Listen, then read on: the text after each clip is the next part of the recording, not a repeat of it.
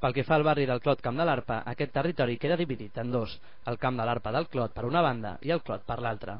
El Poble Nou, en canvi, queda dividit en cinc barris, la Vila Olímpica del Poble Nou, el Parc i la Llacuna del Poble Nou, Provençals del Poble Nou, Diagonal Mar i el Front Marítim del Poble Nou i el mateix Poble Nou.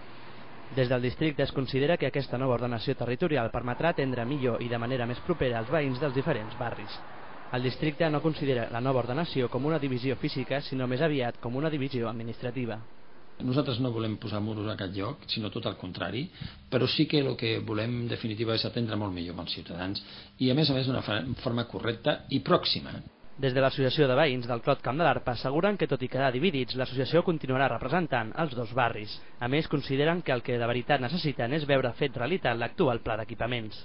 No hi ha millor manera que aproximar els serveis als ciutadans que fer realment efectius els plans d'equipaments de barris. No?